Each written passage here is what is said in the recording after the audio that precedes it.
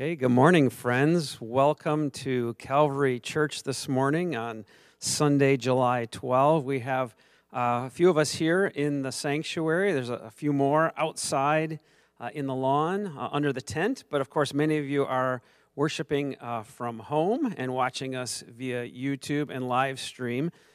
You probably realize this. I am not Pastor Mark. Um, I'm certainly not Pastor Heather. Um, Pastor Mark is on vacation this week, and Pastor Heather will be uh, bringing uh, the message to us later uh, today during our service.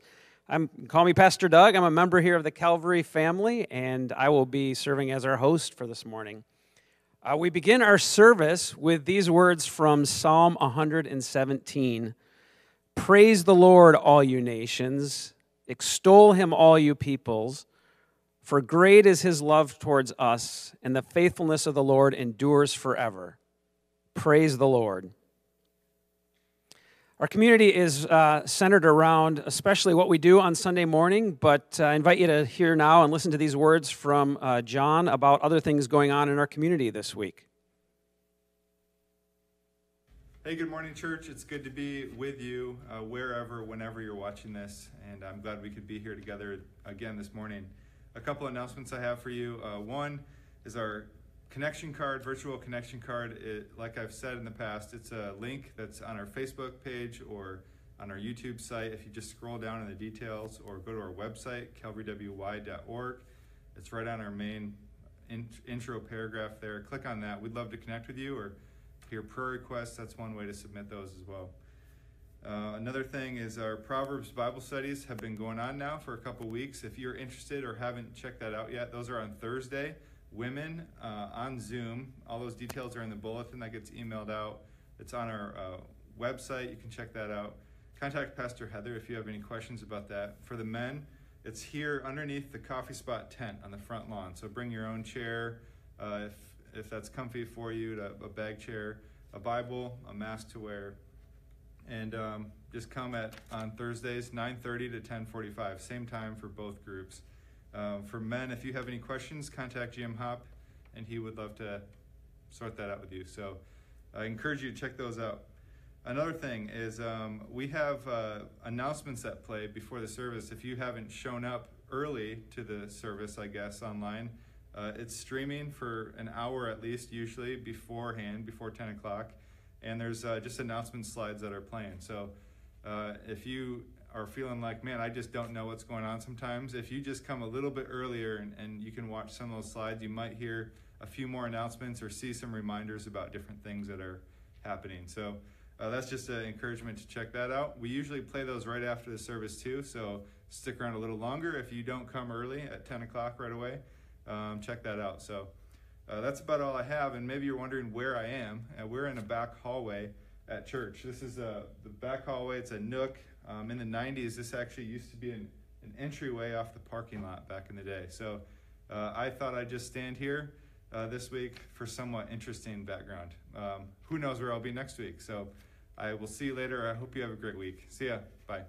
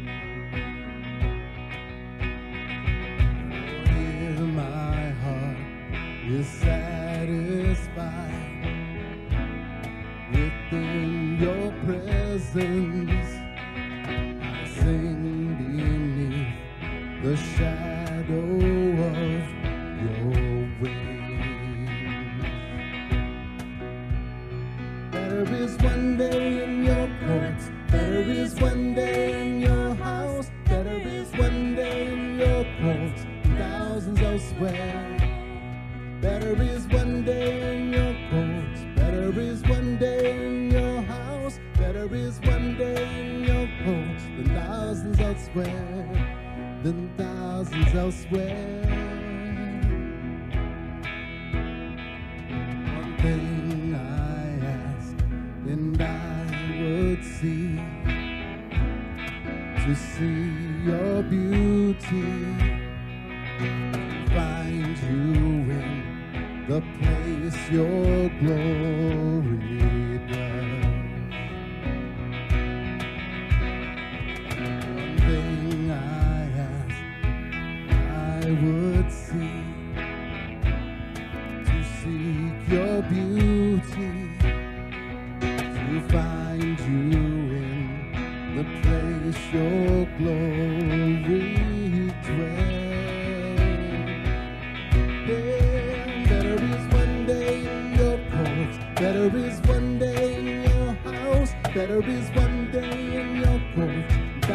Thousands elsewhere. Better is one day in your courts. Better is one day in your house. Better is one day in your courts. Thousands elsewhere. My heart and flesh cry out for you, the living God. Your spirit is water to my soul. I've tasted and I've seen. Come once again to me. I will draw near to you. I will draw near to you.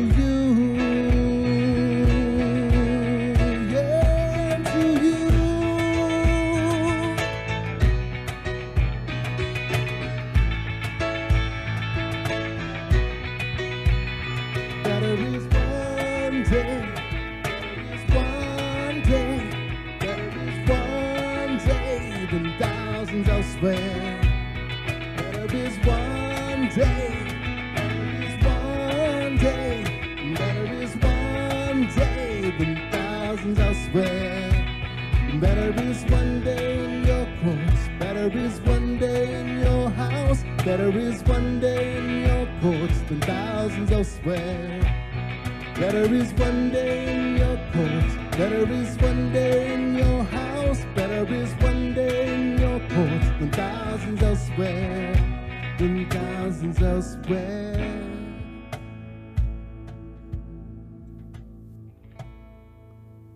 Good morning, Calvary. Glad you could join us, even though it's virtually. Um, thank you for joining us in our first song. That was Better Is One Day.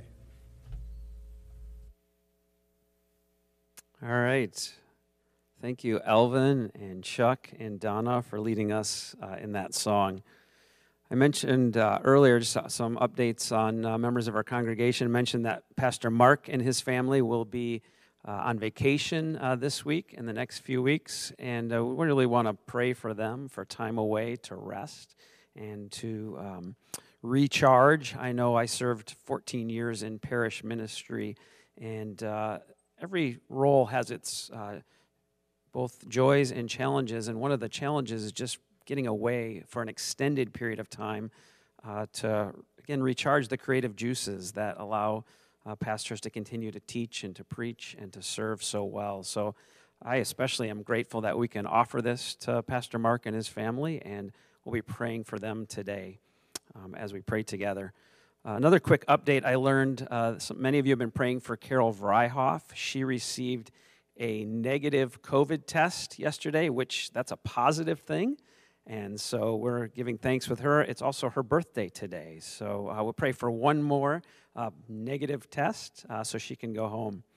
Um, I also learned this morning that Roger Lamer had surgery this week and uh, is recovering. And so just a shout out to Roger and uh, pray for uh, continued recovery for him. Uh, I invite you to join me. Uh, we're going to as we pray together, and I'm going to begin with using words from Psalm 121. Let's pray. We lift our eyes to the mountains, or maybe the hills, or the skies, or wherever we are. We look up and we say, Where does our help come from? Our help comes from the Lord, the Maker and the Creator of heaven and earth. He doesn't let our foot slip. Indeed, he who watches over us will not slumber. He who watches over us will neither slumber nor sleep. We, as a church community, as a nation, as a world, continue to follow and to seek and to call out to you, Lord, for healing and for restoration and for renewal, for the renewal of all things. We think especially of individuals in our congregation. We pray for Pastor Mark today and uh, for renewal as he is away, for times to recharge and to rest, and to hear again your call to, to him and to serve in this capacity. We pray for Carol Vryhoff. We give thanks and we celebrate with her for a negative test um, and for what that means in terms of her road to uh, recovery and restoration and to be able to return home um, to familiar places.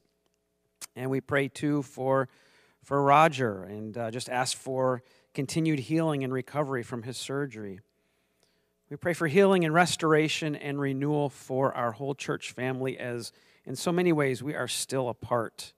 Uh, we are grateful that we can worship like this and for the opportunity to be in different places, both here inside the church building, out in the tents outside, but many of us still at home.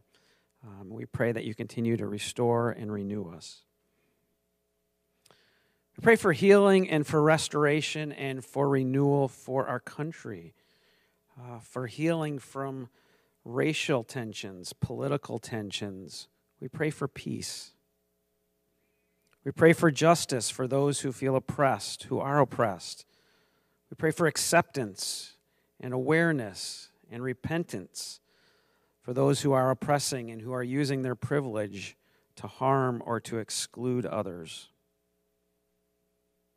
We pray for victims that they might uh, be able to experience the power to forgive and to show grace, and in the process to shed or to let go of bitterness.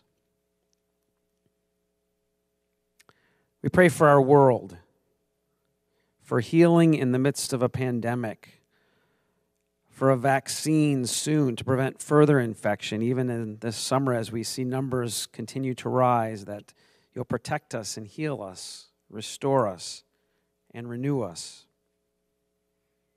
We pray for a spirit of cooperation among nations between governments, across borders, over traditions, and in spite of customs. Father, we live in the assurance and the hope of words Psalm of Psalm 24. The earth is the Lord's and everything in it, the world and all who live in it. And it gives us hope and it gives us peace that it doesn't depend on us, but through our faith and through the hope we have in you, we can say with confidence uh, and assurance that our world belongs to God, to you. And it's in your name that we pray. Amen. There's a couple of other things to be aware of as we continue our worship this morning. We're going to be receiving our offering at this time. Of course, that doesn't mean we're passing the plate like we might do if we are here together, but uh, there are a number of ways that uh, you can continue to give and I like to say exercise the spiritual muscle of generosity, if that means possibly giving uh, through your through your bank or through the web or through some of the options that are listed there. It's a way to be generous and to support the work of Calvary Church and the kingdom of God all over the world. Our, our ministry of the month for July is Safe Haven Ministries. It's a ministry to support and help those who are fleeing uh, violent relationships and uh, invite you to give to that as well by designating specifically um, in your gift that you'd like it to go to that. The last few weeks, we've been uh, sending out on Thursdays kids' notes. Uh, there's an example of that uh, on the screen right now. Kids' notes. Someone said to me, These are cool, hipster, fun ways for kids of all ages, whether you are four or 44, to engage in the service uh, while you watch today. So I invite you, if you haven't printed that out already, it came in an email on Thursday. So parents invite you to run to your computers uh, a moment and you can print that out for your children uh, and for all of us, uh, really, to, to engage and be part of what we're doing this morning. And then we continue our series today on Proverbs. Uh, Pastor Heather introduced that a couple of weeks ago. Today's message is on the wisdom of words and how language uh, influences our faith and uh, how we can use language to build up uh, people around us. And so I invite you as we hear from her today. We're going to actually continue in our worship now with another song from Alvin and Donna and Chuck Be Thou My Vision. It's really a song about wisdom that comes to us from God um, and inspires us with the vision He gives. I invite you to continue to worship as we sing together.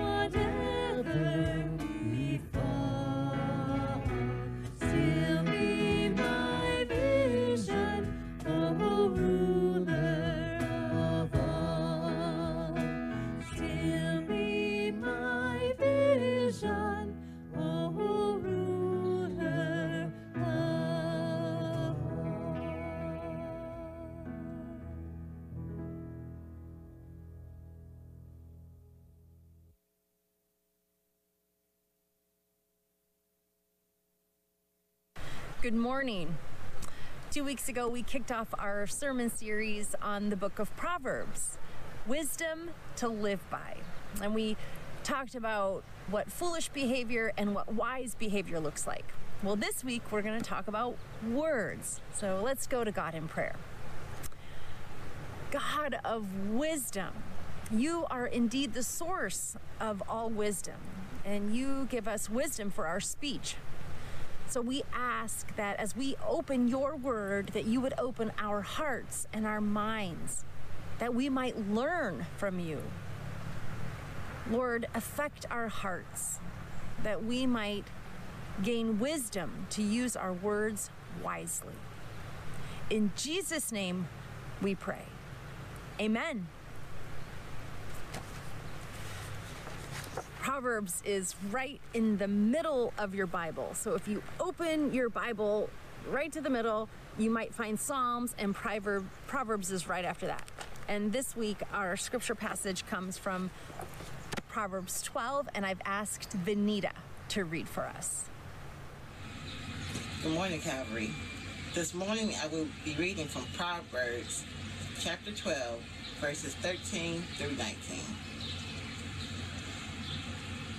Evildoers are trapped by their sinful talk, and so the innocent escapes trouble. From the fruit of their lips, people are filled with good things, and the work of their hands bring them reward. The way of fools seems right to them, but the wise listen to advice. Fools show their annoyance at once, but the prudent overlook an insult. An honest witness tells the truth, but a false witness tells lies. The words of the reckless pierce like swords, but the tongue of the wise brings healing. Truthful lips endure forever, but a lying tongue lasts only a moment. This has been the word of the Lord. Thanks be to God. Thank you, Venita. Brothers and sisters in Christ, words have power. Martin Luther said, if you want to change the world, then pick up your pen and write. And change the world he did. Back in the 16th century, the great reformer Martin Luther. If you have a Bible that has been translated into your own language, Martin Luther had a little something to do with that. Words have power. They have the power to affect our circumstances, to change the trajectory of our future. Not guilty. You're fired. Safe. Out. I do. I'm sorry. I forgive you. I want a divorce. I'm so proud of you. I love you. Words have power. And when you factor in the element of sin, words can become a weapon. James 1 6 says, The tongue is a fire, a world of evil among the parts of the body. In our scripture passage, Solomon, one of the authors of the book of Proverbs, warns the Israelites about the ramifications of using our words foolishly. In Proverbs 12 18, he says, The words of the reckless pierce like swords. They can cut, they can wound a person deep deep beneath the surface, both both in visible ways and, and in invisible ways, in lasting ways. Words wielded unwisely can become weapons, Solomon warns the Israelite people. And the wounding doesn't stop there. Proverbs tells us that weaponized words don't just harm the people who hurl them they do damage to the person wielding the dagger as well. Verse 13 of chapter um, of our of chapter 12 says, "Evildoers are trapped by sinful talk." Weaponized words leave a residue on in the mouth of of the one speaking them. We know this to be true. We've been weaponizing our words since we began to speak. Mrs. Wells, our kindergarten teacher, used to uh, break up entanglements among five year olds, and she would ask them, Now, are your words big bucket filling or bucket dumping? And it would teach children to discern between their words. Were they using their words for good or for harm? We've weaponized words, and we've been the victims of other people's weaponized words. Your friends don't actually like you, they just pretend. You're lazy. You'll never be the man your brother is. I hate you. You're not smart enough. You're not pretty enough. You're not big enough. You're not tall enough, good enough. You're not man enough, white enough, straight enough, Christian enough. You're not enough. Everyone has suffered the piercing pain of words. Words have wounded you? What scars do you carry? Well, thankfully, words do so much more than cause harm. Words used wisely bring healing and life to God's world. In the beginning, God created the heavens and the earth. And how did He do it? He spoke, He used words. Words have the power to create. God said, Let the waters teem with living creatures. And it was so, and God called it good. Words have the power to bless. God spoke these words to Abraham thousands of years ago. The Lord bless you and keep you. The Lord make his face shine on you and be gracious to you. The Lord turn his face toward you and give you his peace. And he continues to bless his people through these words today. Words have the power to bless. Words have the power to encourage. Isaiah 43 says, Do not fear, for I have redeemed you. I've summoned you by name. You are mine. Words have the power to comfort, even though I walk through the darkest valley. You are with me. Your rod and your staff, they comfort me. Words have the power to affirm. You are my son, whom I love. With you I am well pleased. Words have the power to commission. Therefore, go and make disciples of all nations, baptizing them in the name of the Father and the Son and the Holy Spirit. Words have the power to heal, be clean, Jesus says. And because God's words have the power to heal and bring life, so do ours. When we choose to use our words wisely, when we image God through our words, we participate in God's work of restoring the world. This isn't just a, a good idea. This is what's required as followers of Jesus this is what the world needs in such a time as this. Our world needs healing words, words of life, especially right now in our world's circumstances of despair. Dietrich Bonhoeffer says that God has put his words in the mouth of men in order that it may be communicated to others.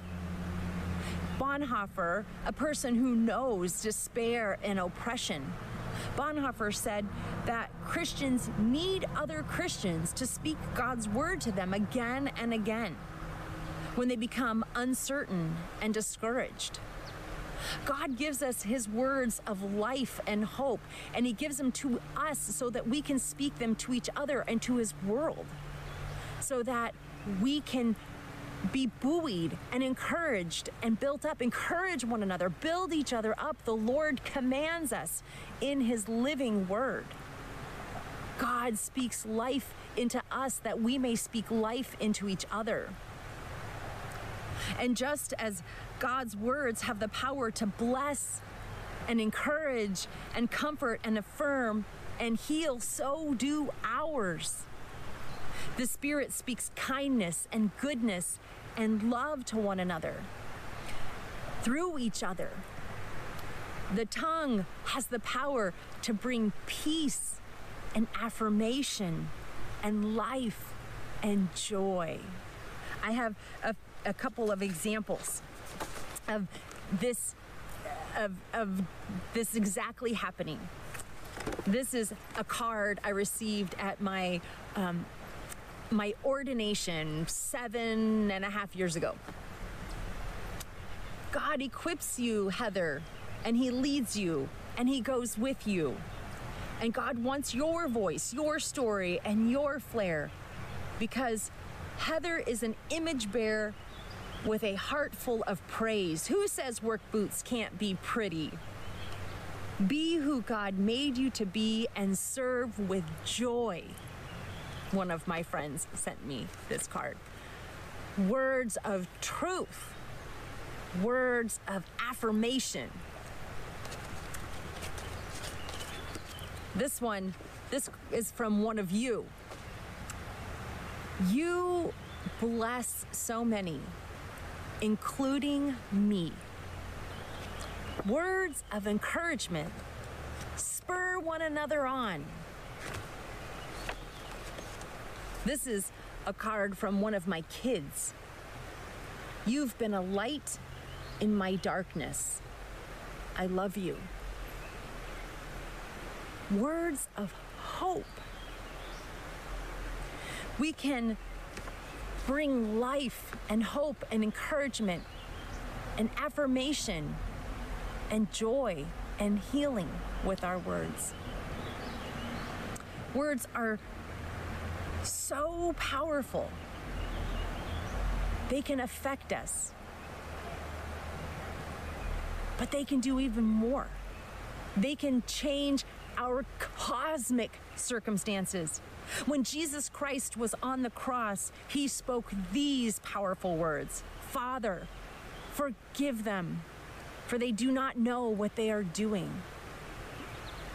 And when those powerful words were spoken, you are forgiven, was spoken over you and me as well, propelling us from death to life, from the end to the beginning of forever. Because of God's words of forgiveness and life, because of God's words of hope, we have life eternal. In a word, our circumstances were changed forever. When Mrs. Wells would navigate those circumstances with the five year olds, she wouldn't just ask them, Is that bucket dumping or bucket filling? She would take it one step further and she would offer them a challenge. She would say, Now, what are you gonna be? Are you gonna be a bucket dumper or a bucket filler? And God invites us into that challenge today, too. What are you gonna be? Are you going to use your words to divide and to harm, to cause death and pain? Or are you going to use your words for life and encouragement and affirmation and hope? God pours out his wisdom into his world and into you. He equips you and empowers you to bring life to his world. He gives you words of life and he gives you guidance and instruction in how to use words in such a way to bring hope to the world, to participate in God's restoration project through Jesus Christ by the power of his Holy Spirit. We get to be part of the solution in the world through our words. And as we participate in bringing life to the world, we bring life to ourselves as a gift to God. This is good news, good news indeed. The enemy comes to kill, steal, and destroy, and he does so through words. But Jesus came that you and I may have life and have it to the full. And words help bring life to the world. We have access to God's wise words of love and life and healing and hope. He pours out his blessing and his words on you today. Thanks be to God. Let's pray. God, we thank you that you are a God of wisdom and a God of love and a God of life and a God of hope, and that you shower us with your words of goodness. Forgive us for choosing to use our words to harm. Cleanse our lips, Lord. Wash our mouths, our tongues, our hearts. Give us hearts that desire to use our words to propel your world toward healing and life and encouragement. We thank you that you are a God of life and you continue to propel us toward life. We are grateful that today we get to begin again. In Jesus' name we pray. Amen. So far in our sermon series on the book of Proverbs, Wisdom to Live By, we've looked at wise and foolish behavior, we've looked at words, and next week we're going to look at the topic of justice. If you'd like to go deeper into the book of Proverbs, I invite you to visit our Calvary Facebook page. Someone has selected a verse of the day for every day. I've been finding those inspiring. You might consider reading a chapter of Proverbs every day corresponding with the date.